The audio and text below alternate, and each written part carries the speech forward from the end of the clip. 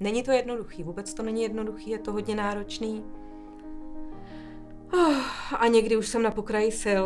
Ta psychika je neustále vlastně zaměstnaná tím dítětem a to, to mě vyčerpává. Dlouho mi trvalo, eh, než jsem přišla na to, že jako to sama nezvládnu a že opravdu eh, s dětmi eh, takovými, jaký jsou, tu pomoc jako nutně potřebuju.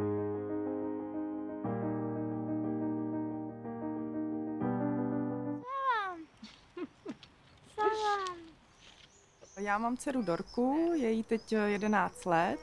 Dorka má syndrom Dravetové, je to genetické onemocnění a vlastně to hlavně znamená, že trpí epileptickými záchvaty.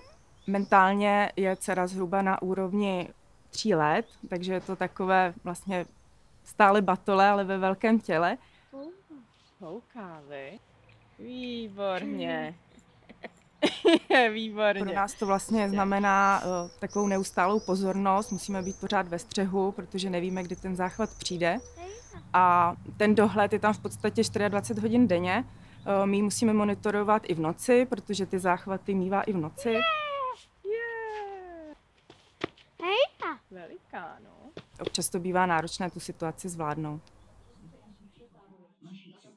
Mám dva syny, Jednomu je 16, to je vlastně autista, a mladšímu je 6, ten je zdravý, ten je až moc zdravý. U toho autistického světa člověk se musí úplně změnit, musí úplně, úplně uh, změnit hodnoty, změnit myšlení, uh, přizpůsobit se, vlastně zahodit ego. Ne, je tvoje. Je tvoje. No tak jo, tak je On potřebuje vlastně ten svůj, jakoby to svý a je v pohodě. A nesmí přijít nic, co ho rozladí. Takže jsem koupila boxovací pytel a začal boxovat.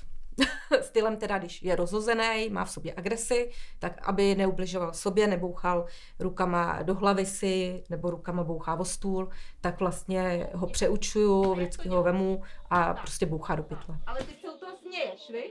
Vždycky no. mám velikou radost, když vymyslím něco, co teda fakt zabere. Mně někdy přijde, že už jsem trošku taky autista.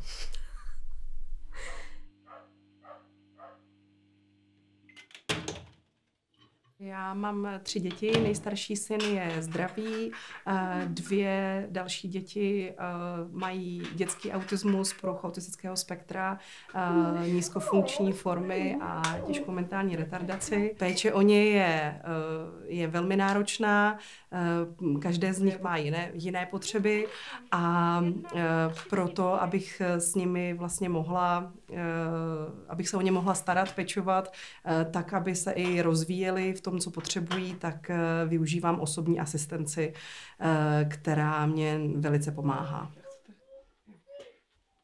Já jsem tuhle cestu přijala. Eh, děti mám ráda takové a miluju, řekněme, to není mám ráda, je slabé slovo, takové, jaké jsou. Jako děti mě dali hrozně moc na mojí jako životní cestě a za to jsem jim fakt vděčná. V mém životě mi hodně pomáhá tvoření, eh, při kterým vlastně můžu vypnout a věnovat se sobě. Člověk zapomene na ten autistický svět a chvilku je sám sebou.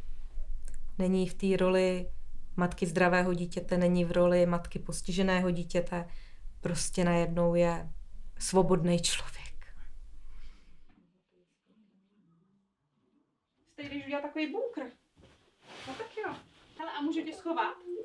Moje potřeba jako mámy eh, dětí s zdravotním postižením a jednoho zdravého eh, syna je eh, hodně odpočívat. Takže se snažím čerpat každou volnou chvilku i třeba z přírody, a nutně potřebuju e, podporu okolí, e, abych tohle dokázala a dopřála si to, protože stále na to jakoby není ten čas, ale já vím, že si ten čas a prostor musím dát, abych tady pro ně zůstala zdravá.